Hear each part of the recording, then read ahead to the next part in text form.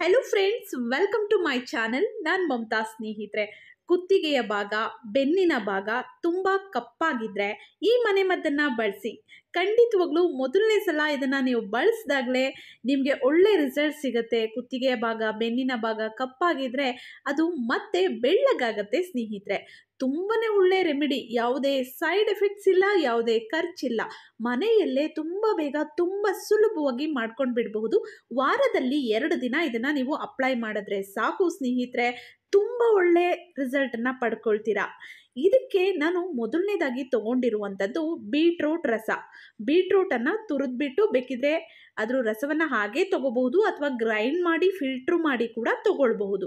ನಂತರ ಸಕ್ಕರೆ.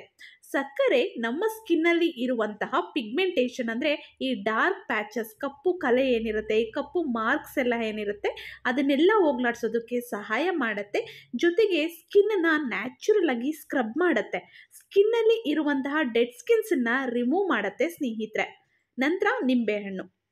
ನಿಂಬೆಹಣ್ಣಿನ ಬಗ್ಗೆ ನಿಮ್ಮೆಲ್ರಿಗೂ ಗೊತ್ತು. ಇದು ನಮ್ಮ ತ್ವಚೆಗೆ ತುಂಬಾ ಪ್ರಯೋಜನಕಾರಿ. ಇದು ಸ್ಕಿನ್ನನ್ನು ನ್ಯಾಚುರಲ್ ಆಗಿ ಬ್ಲೀಚ್ ಮಾಡೋದ್ರಿಂದ ಸ್ಕಿನ್ನು ನ್ಯಾಚುರಲ್ ಆಗಿ ವೈಟ್ ಆಗುತ್ತೆ.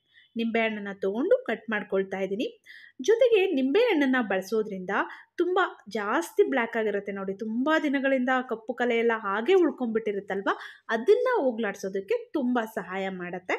ನಂತರ ಅಕ್ಕಿ ಹಿಟ್ಟು ಅಥವಾ ಕಡಲೆ ಹಿಟ್ಟು. ಯಾವುದಾದ್ರೂ ತಗೊಳ್ಳಿ. ಅಕ್ಕಿ ಇಟ್ಟಿದ್ರೆ ಅಕ್ಕಿ ಹಿಟ್ಟು ತೊಗೋಬೋದು ಕಡಲೆ ಇಟ್ಟಿದ್ರೆ ಕಡಲೆ ಹಿಟ್ಟು ತೊಗೋಬೋದು ಒಂದು ಬೌಲ್ಗೆ ಸ್ವಲ್ಪ ಅಂದರೆ ಒಂದು ಎರಡು ಸ್ಪೂನಷ್ಟು ನಿಂಬೆಹಣ್ಣಿನ ರಸವನ್ನು ಹಾಕ್ಕೊಳ್ಳೋಣ. ನಂತರ ಸ್ವಲ್ಪ ಅಂದರೆ ಒಂದು ಕಾಲು ಚಮಚದಷ್ಟು ಸಕ್ಕರೆಯನ್ನು ಹಾಕ್ಕೊಳ್ಳೋಣ ನಂತರ ಎರಡು ಚಮಚದಷ್ಟು ಅಕ್ಕಿ ಹಿಟ್ಟನ್ನು ಹಾಕ್ಕೊಳ್ಳೋಣ ಎಷ್ಟು ಪ್ರಮಾಣದಲ್ಲಿ ಬೇಕಾಗುತ್ತೋ ಅಷ್ಟು ಪ್ರಮಾಣದಲ್ಲಿ ನೀವು ಅಕ್ಕಿ ಹಿಟ್ಟನ್ನು ತೊಗೊಳ್ಳಿ. ನಾನು ಎರಡು ಸ್ಪೂನಷ್ಟು ಅಕ್ಕಿ ಹಿಟ್ಟನ್ನು ತೊಗೊಂಡಿದ್ದೀನಿ. ನಂತರ ಅರಿಶಿನ. ಅರಿಶಿನದಲ್ಲಿರುವಂತಹ ಕುರ್ಕುಮೀನ್ ನಮ್ಮ ಸ್ಕಿನ್ನಲ್ಲಿ ಇರುವಂತಹ ಡಾರ್ಕ್ ಪ್ಯಾಚಸನ್ನು ಕಡಿಮೆ ಮಾಡುತ್ತೆ. ಇದರಲ್ಲಿ ಇರುವಂತಹ ಕುರ್ಕುಮಿನಿಂದ ನಮ್ಮ ಮೆಲಾನಿನ್ ಪ್ರೊಡಕ್ಷನ್ ರೆಡ್ಯೂಸ್ ಆಗುತ್ತೆ. ಅದರಿಂದ ಸ್ಕಿನ್ನು ವೈಟ್ ಆಗುತ್ತೆ. ನಂತರ ಕಾಫಿ ಪೌಡರ್. ನಿಮ್ಮ ಮನೆಯಲ್ಲಿ ಯಾವ ಕಾಫಿ ಪೌಡರನ್ನು ಬಳಸ್ತೀರಾ? ಅದನ್ನು ತಗೊಳ್ಳಿ. ಕಾಫಿ ಪೌಡರು ಸ್ಕಿನ್ನನ್ನು ಬ್ರೈಟನ್ ಮಾಡುತ್ತೆ. ಡೆಡ್ ಸ್ಕಿನ್ನನ್ನು ರಿಮೂವ್ ಮಾಡುತ್ತೆ.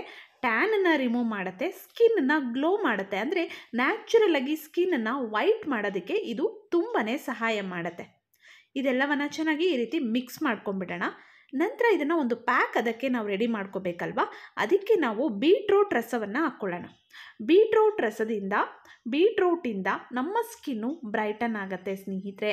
ಡಾರ್ಕ್ ಸ್ಪಾಟ್ಸ್ ನಿವಾರಣೆ ಆಗುತ್ತೆ ಸ್ಕಿನ್ನು ಗ್ಲೋ ಆಗುತ್ತೆ ವೈಟ್ ಆಗುತ್ತೆ ಅಂತಲೇ ಹೇಳ್ಬೋದು ಎಷ್ಟು ಬೀಟ್ರೂಟ್ ರಸ ಬೇಕೋ ಅಷ್ಟು ಬೀಟ್ರೂಟ್ ರಸವನ್ನು ಹಾಕ್ಕೊಂಡು ನಾವು ಇದನ್ನು ಒಂದು ಪ್ಯಾಕ್ ಅದಕ್ಕೆ ಬರೋ ರೀತಿ ಎಲ್ಲವನ್ನು ಮಿಕ್ಸ್ ಮಾಡ್ಕೊಳ್ಳೋಣ.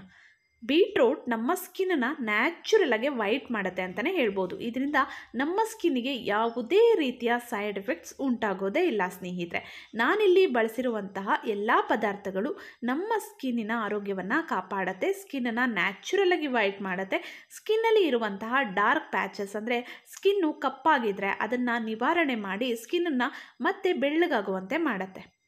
ಇದನ್ನು ಯಾವ ರೀತಿ ಬಳಸಬೇಕು? ಮೊದಲು ನಿಮ್ಮ ಕುತ್ತಿಗೆ ಭಾಗವನ್ನು ನೀಟಾಗಿ ತೊಳೆದ್ಬಿಡಿ ಬಿಸಿ ನೀರಿನಿಂದ ತೊಳೆದ್ರೆ ಇನ್ನೂ ಉತ್ತಮ. ಅಂದರೆ ಒಂದು ಟವಲನ್ನು ಬಿಸಿ ನೀರಲ್ಲಿ ಅದ್ಬಿಟ್ಟು ನಿಮ್ಮ ಕುತ್ತಿಗೆಯ ಭಾಗಕ್ಕೆ ಆ ಒಂದು ಟವಲನ್ನು ಒಂದು ಸ್ವಲ್ಪ ಹೊತ್ತು, ಒಂದು ತ್ರೀ ಮಿನಿಟ್ಸ್ ಹಾಗೆ ಇಟ್ಕೊಳ್ಳಿ ಆ ಟವಲನ್ನು. ಆಗ ನಿಮ್ಮ ಕುತ್ತಿಗೆಯ ಭಾಗ ಎಲ್ಲ ಒದ್ದೆ ಆಗಿರುತ್ತೆ, ವೆಟ್ಟಾಗಿರುತ್ತೆ. ನಂತರ ಇದನ್ನು ನೀವು ಅಪ್ಲೈ ಮಾಡ್ಕೋಬೇಕು. ಕುತ್ತಿಗೆಯ ಭಾಗಕ್ಕೆ, ಬೆನ್ನಿನ ಭಾಗಕ್ಕೆಲ್ಲ ಅಪ್ಲೈ ಮಾಡಿಬಿಟ್ಟು, ಇದು ಡ್ರೈ ಆಗೋವರೆಗೂ ಹಾಗೆ ಬಿಟ್ಟು ನಂತರ ಇದನ್ನು ನಾರ್ಮಲ್ ವಾಟರ್ ತಣ್ಣೀರಿನಿಂದ ವಾಶ್ ಮಾಡಬೇಕು. ಈ ರೀತಿ ವಾರದಲ್ಲಿ ಎರಡು ಸಲ ಮಾಡಿದರೆ ಸಾಕು. ನಿಮ್ಮ ಕುತ್ತಿಗೆಯ ಭಾಗದಲ್ಲಿರುವಂತಹ ಕಪ್ಪೆಲ್ಲವೂ ಕಂಪ್ಲೀಟಾಗಿ ನಿವಾರಣೆ ಆಗುತ್ತೆ. ಸ್ನೇಹಿತರೆ, ತುಂಬ ಒಳ್ಳೆಯ ರೆಮಿಡಿ ಟ್ರೈ ಮಾಡಿ ರಿಸಲ್ಟ್ ಬಂದಮೇಲೆ ಕಮೆಂಟ್ ಮಾಡಿ ತಿಳಿಸಿ. ನನ್ನ ಚಾನಲಲ್ಲಿ ಈ ರೀತಿಯ ಸಾಕಷ್ಟು ಯೂಸ್ಫುಲ್ ವೀಡಿಯೋಸ್ಗಳಿದೆ ಫ್ರೀ ಇದ್ದಾಗ ನೋಡ್ತಾ ಇರಿ ಸಪೋರ್ಟ್ ಮಾಡ್ತಾ ಇರಿ ಮತ್ತೆ ಭೇಟಿಯಾಗೋಣ. Thank you